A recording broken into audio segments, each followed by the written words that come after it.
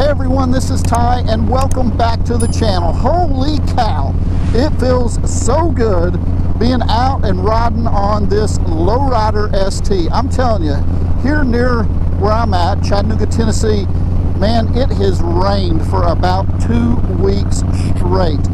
Now the sun started poking out from behind the clouds a little bit and me and my wife were talking and she's like, go get on the motorcycle when you can. It's supposed to rain for the next week.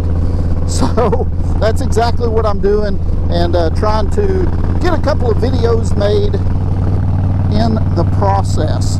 So I figured what we would talk about today is this Lowrider ST. I get a lot of great questions and comments from my subscribers on this motorcycle and this motorcycle, it is so fine. It is so fine.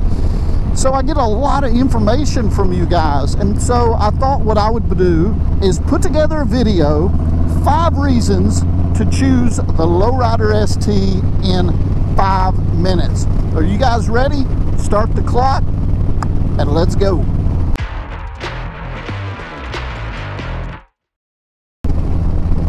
The first thing that I can think of is the very first thing that we attracts us to our motorcycles, and that's how do they look? You know, you don't want a crappy looking motorcycle, and this motorcycle looks awesome. It looks awesome sitting still. It looks even better going down the road. This fairing is something else, guys. I, I give this fairing so many high praises, and it does the job. It is great. But just the way this motorcycle looks, I love the black, I love the vivid black, I love being able to black out this motorcycle. It brings me much joy. Say joy! Joy. And uh, I absolutely love it. So point number one would have to be the motorcycle just looks fine. The second thing would have to be this. Look up the specs of this motorcycle and tell me what you think. The specs of this motorcycle, man, put it in a class all of its own if you ask me. So you're talking about with this motorcycle, you get the Milwaukee 8 117 weighing in around what 729-ish pounds, something like that. The motorcycle is lightweight with a ton of power. Not only that, but you get a 5.1 gallon tank, getting you 43 miles per gallon. You can uh, almost hang in there with some of the big baggers like the Street Glide and the Road Glide. They've got a six gallon tank, but whatever. And then you've got this heavy breather.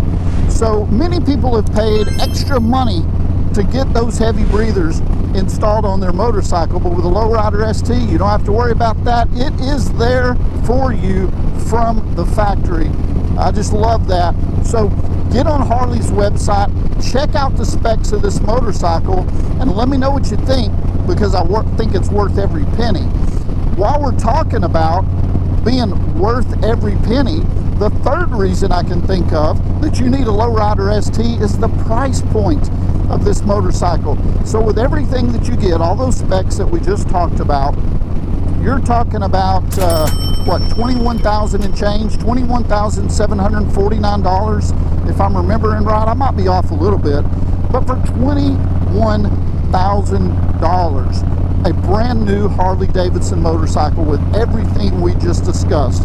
Can you believe that? I mean, I have paid double that for a motorcycle that is sitting in my garage right now, and I would rather be on this Lowrider ST any day of the week. So, price out Harley Davidson motorcycles. The Lowrider ST is going to be very, very cost worthy at that price point, and uh, I don't think you can go wrong. Check it out. Something else I love about this motorcycle is you can build it out any way you want. Yeah, I know you can do that with every other motorcycle that's out there, but there's something special about this Lowrider ST. And what do I mean by that? You know, I like the aggressive nature. I like the aggressive look of the Lowrider ST. I like being able to do more um, more accessories and more upgrades for this motorcycle that's based not just on comfort but on looks and power and just fun you know I think that is exceptional. And that is one of the reasons I love this. I love seeing what everybody else is doing to their Softails, getting ideas, collaborating with people, sharing ideas, and doing then whatever you want to your bike. It's been a fun, fun build on this Lowrider ST. And then last but not least would be this. What do you want to use this motorcycle for? If you want to go, uh, if you want to do touring, if you want to do commuting back and forth to work, if you just want to do around town riding or weekend riding, the Lowrider ST can most certainly accommodate you with whatever you want to do. And that's some of the things that I'm going to be doing. So I'm going to get, come springtime, I'm going to get this motorcycle tour worthy for some trips. Now I've seen a lot of people put uh, tour packs, chopped tour packs on the Lowrider ST.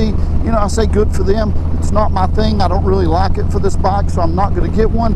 But I am going to get a big old fluffy sundowner seat with a sissy bar that I can attach some luggage to. And then, boom, this motorcycle is ready to go tour with. And anytime you can mix in sport, touring, commuting, long distance riding, it's going to be a fine motorcycle. So point number five, right there. Now shut off the clock.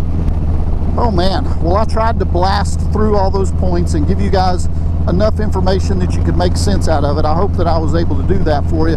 So I tell you what, if you've got a lowrider ST and you love the motorcycle, whatever you think about it, let me know in the comments below. Also, if you don't mind, hit that thumbs up, show your support for the channel, take a look at uh, what I've got out there and maybe consider subscribing. I hope you guys have an excellent day and we'll talk to you again soon.